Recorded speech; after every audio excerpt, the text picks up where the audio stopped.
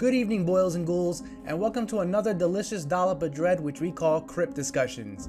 I am your master of ceremonies for these dead time stories, Jonathan, and tonight, Creeple, we are going to address a misinformation meme that has been known to go viral for the past few years, which we want to lay to rest once and for all. So, how many times have you seen this meme? If you are a Chucky and Crypt fan, you more than likely have come across this far too often. But you may ask, why is this meme such an issue? If you are generally knowledgeable in regards to the production of the show and the Crypt Keeper puppet, you know that the Crypt Keeper's creator is world renowned special effects and makeup artist Kevin Yagher. Kevin Yagher is also known for numerous milestones in various mediums of film and media, including Nightmare on Elm Street, Sleepy Hollow, the Bill and Ted franchise, Man's Best Friend, Face Off, and of course, the Child's Play franchise up until Bride of Chucky. Now, obviously, the clear parallel that these two share is the fact that their creator is the same man.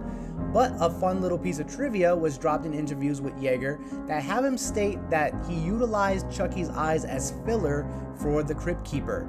Through the decomposition process of the Crypt Keeper having a hook nose, as stated in the official archives, Yagher's decisions of the eyes and removing the hook nose after a very thorough and in-depth start to finish process resulted in the Crypt Keeper design we all came to love. Now, my issue with this meme is that it has been spread like a vicious wildfire of herpes, and that is the best expression I can really use to explain it, saying that the Chucky doll was stripped and reused as the Crypt Keeper for season 1 of Tales from the Crypt. They kept the eyes attached, and so the Crypt Keeper has Chucky's eyes. And that, my best fiends, is absolutely 100% false. This insinuates and implies that the Crypt Keeper was entirely created out of a good guy doll, which is virtually impossible. And I am here to tell you why.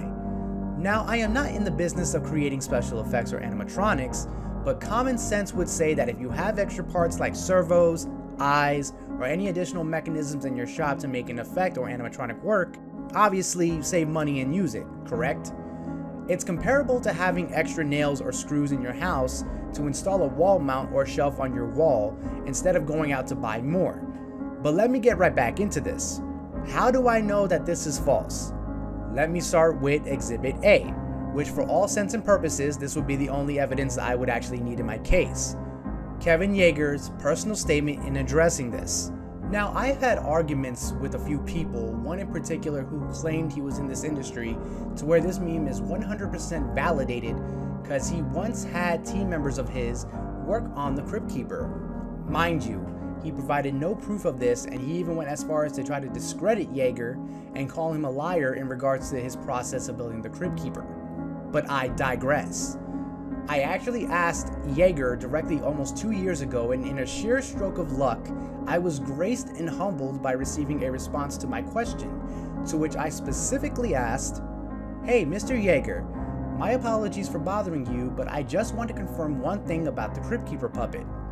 Is there anything else that was used to create the Crypt Keeper utilizing good guy doll parts? Or is it simply just Chucky's eyes that were used? I have only seen or read from your interviews and posts that it's just the eyes, in which he follows up with, Hi Jonathan, yes, just Chucky's eyes were used. Everything else was created from scratch. Now, I'm not the sharpest knife in a torture dungeon, but if I were a betting man, I would easily go with the statement of the accredited and obviously successful special effects creator, especially one who has had much more exposure and time with the series with the Crypt Keeper's wraparounds.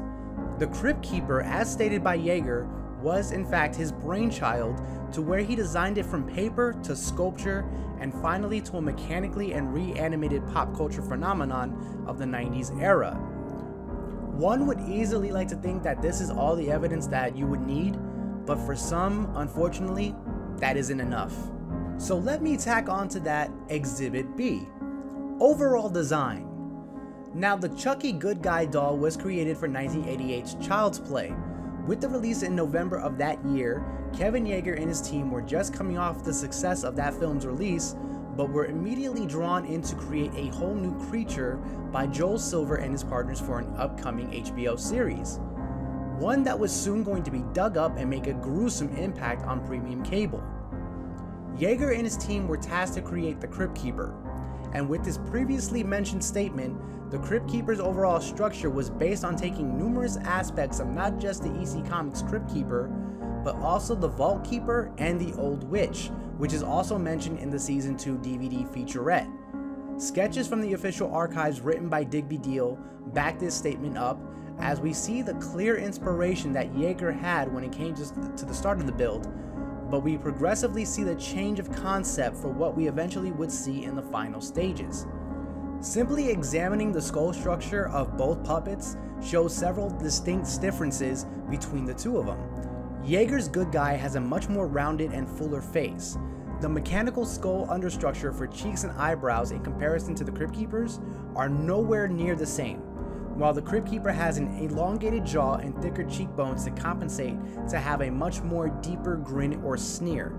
The Crypt Keeper's skull also has an extension in the back to give a much more accurate depiction of an actual skull, since he is in fact a living skeleton as well as to make additional room for more of the servos that had to be uh, installed and used. This extension is bridged to the front piece of the skull where Chucky does not have this. Going beyond that, the Crypt Keeper's performance is not executed in the same manner that a good guy doll is executed. In many of the behind the scenes moments where we see how Chucky is operated by Yagher's team of puppeteers, he is in fact a fully wired and constructed animatronic that is manipulated in various ways through controllers. Whereas the Crypt Keeper is essentially just a head and torso puppet whose lower limbs are hidden in many upon many shots. Utilizing a puppeteering method that Jim Henson once used for the Muppets, a puppeteer would wear gloves that would represent the Crypt Keeper's hands and arms to provide a bit more realistic and fluid animation to the performance working in tandem with trick photography. This is why you hardly see the Crypt Keeper in a full wide shot, unless his legs are completely static and if you do see him walking from scene to scene, we only see him from the waist up, aside from that one moment in Demon Knight. In each episode, we see the Crypt Keeper sitting in his chair in most segments. When this is happening, there are puppeteers hidden behind and under him behind his table to work various parts of his head and arms. Just overall comparison of behind the scenes footage of Chucky from the Building a Nightmare segment of the Child's Play Blu ray and Sci Fi's Yagher featurette of Tales demonstrate these differences clearly. And if you don't take my word in regards to any of that, you can also compare what they look like in terms of height. If nothing else possibly convinced you, please let it be this. So in conclusion, boils and ghouls, the entire purpose of this video was to educate you all on these two legendary figures of the 90s era of horror. And although they are very much different, they do see eye to eye on plenty of important matters. And since their inception, they will always be dead friends till the end. That wraps up our dead time story for tonight, kiddies. What did you think of tonight's tale? Did you love it or hate it? Let me know what you all thought deep in the catacombs of the comment section, and help me out to spread this diseased little ditty out to the rest of our community by liking and sharing this video to other fans of the series. Oh, and one minor note, I am trying to help raise awareness and donations to the United Way of the Plains organization to assist in recovery and relief of those who lost their homes due to the tornado that devastated the city of Andover, Kansas. Many families have lost their livelihoods due to this terrible disaster, so if you can help, please go to www.unitedwayplains.org slash disaster response slash tornado relief efforts. Or text teamwork one word no spaces to 41444 and help out in whatever way you can if you can't, please show your support and try to send this information to as many people as possible. Thank you to you all, and with that said, this is your pal Jonathan, wishing you all a very safe and happy week. Good night and pleasant screams.